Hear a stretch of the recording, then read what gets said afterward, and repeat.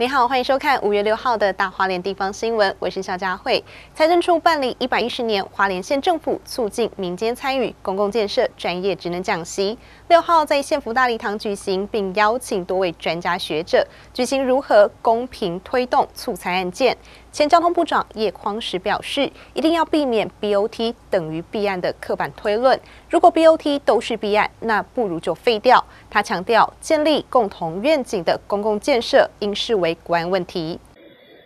财政处办理一百一十年花莲县政府促进民间参与公共建设专业职能讲习，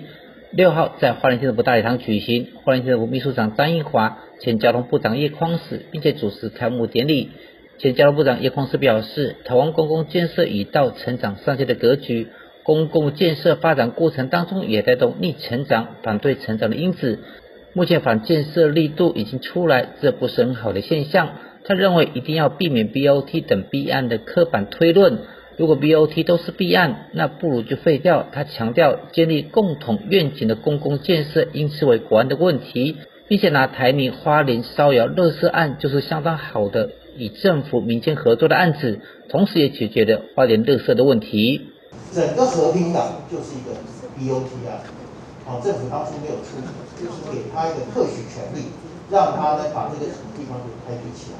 然后呢，这个市商就促进很多，对我们花莲的经济也有很大的帮助啊。那进一步他又开始在做这个，像和平港那边现在已经变成打卡的热点，对不对？开始发展一些观光啊。然后这个刚刚讲这个乐色的窑烧哈，不只是解决花莲的乐色问题，它可以解决宜兰很多地方，它这个模式还可以推广出去哈。那我们花莲县呢哈，大家都知道是相对财政比较比较比较贫困的一个地方，所以更应该要善用我们这种 PPP 的模式，因为呢，我常常在跟这个很多人讲，我们的政府哈，各个地方的政府，包括中央政府。都有一个问题，就是坐在金山上看丑，就是我们，我们事实上有很多的资源，政府有很多的资源，有很多的权利，你只要把那些权利跟资源能够怎么样放出来放松，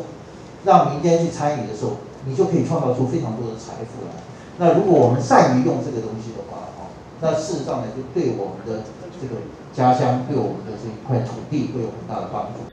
花莲县政府表示，过去以府内局处为主体的促进协调推动小组提供委员会形式，而府内透过新的促餐推动委员会的架构，特别聘请业界熟悉促餐、公有土地开发实务以及市场行销之外，以及专家委员提供咨询，要让招标条件更接地气、更符合市场的需求，以吸引民间厂商踊跃来投资花莲。记者九王黄色报道。